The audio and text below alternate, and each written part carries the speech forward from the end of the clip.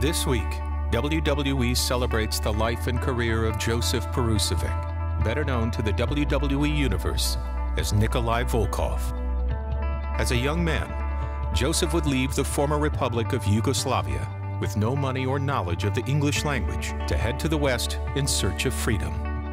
Eventually, Joseph would make his way to Calgary, where he would meet his mentor, the legendary trainer Stu Hart. Joseph would emerge in WWE as the fiery Russian Nikolai Volkoff and quickly skyrocket to the top, breaking box office records at Madison Square Garden in a rivalry with the living legend Bruno Sammartino and battling the WWE's living embodiment of Americana, Hulk Hogan, at the height of Hulkamania.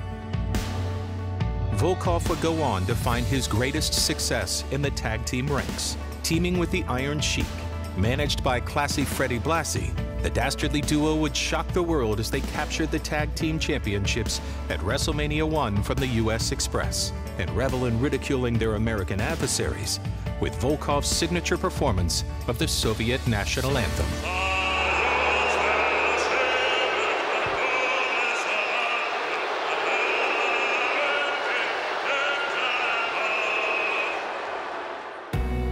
After nearly 20 years of being jeered as a reviled villain, Volkoff was finally cheered when he teamed up with the patriotic hacksaw Jim Duggan, embracing his true love of America.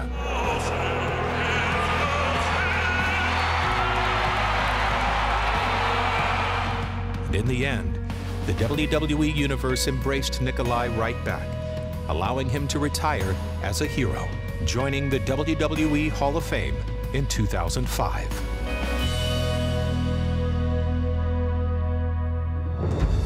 After a career entertaining millions both on screen and behind the scenes.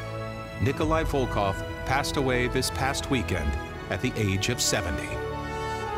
We at WWE wish to send our deepest sympathies to his family, friends, and loved ones.